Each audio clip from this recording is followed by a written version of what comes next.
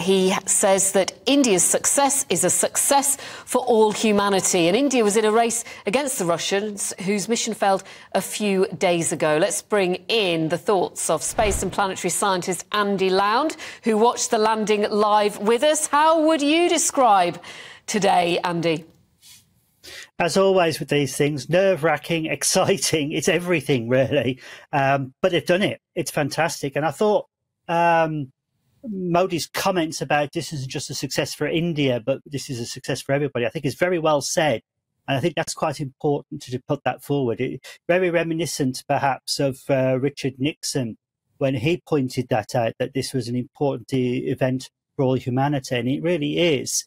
And it puts India really up there with everybody else now. They're, they're part of the human species exploring and spreading outwards. And that's part of the excitement. The more nations involved, I think the better, because we are a, a species of uh, quite a diverse species. And it's nice to have all elements of us involved in this. And I think this is wonderful.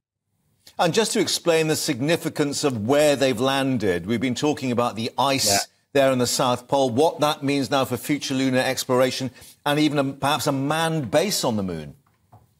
It does because now we've got the robot probe there. They can actually do some of the hard work over the next 14 days, and it's going to be a lot of hard work, making sure the instruments work, find out what the constituents of the material in the regolith, which is the soil, uh, find out how stable the area is, because we'll be looking at whether or not there's moonquakes there or not. I mean, you don't want instability if you're going to build a base there, because that could cause problems uh, and finding that critical water ice there. This is going to be the busiest 14 days probably yeah. of any little roving vehicle because we need this data for the future exploration of this, this planetary body. Well, Andy, we have to get you to feature your beautifully made model of the, the moon rover if you've still got it there. I hope you haven't put it back in the cupboard um, because of this is what the work not. starts now. Of course, they've got what that's that's the uh, the lander, of course, and then you've got this vehicle that goes onto the surface, as we remember with all these other moon explorations. What's that going to be doing over the next two weeks? Yes, uh, in a couple of hours, literally waiting for the dust to settle from this mission, to the dust settle down. Um, the rover will drop onto the surface. It'll be got a host of scientific experiments on board where it'll be studying the soil. It'll be taking measurements of the environment as well, which is always quite important. To know what sort of a, an environment we're in, high radiation, low radiation, whatever. And that's important. And that will be supplying that data back to the lander, which will transmit that back to the orbiter, which was, which is Chandrayaan 2.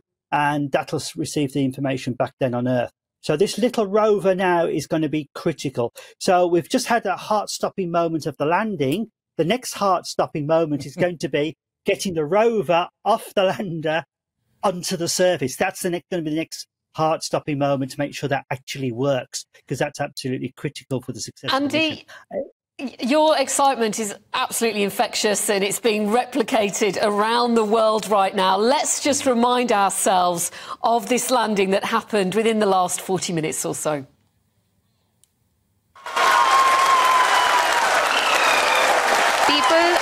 Applauding.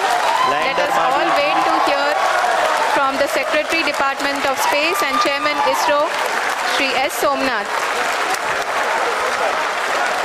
Lander module पूरी तरह से safely or softly Chandrama ke well, well, India has landed uh, another moment of uh, history.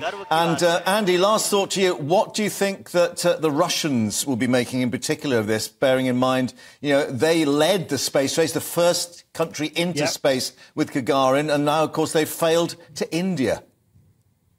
Well, they, they, haven't failed. I say I don't take that.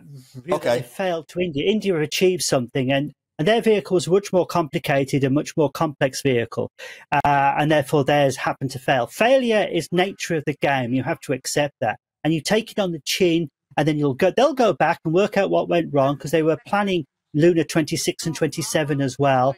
I think it's interesting that they're doing it mostly on their own, whereas originally they were going to be working with the European Space Agency. That sort of fell apart. And I think international cooperation is what's going to be really important here. And I think Russia might want to reflect on that. But having said that, the nature of the government there at the moment isn't internationalistic in that sense. Andy, and your beautifully made models, thank you very much indeed for taking us through another moment of space history. Thanks very much.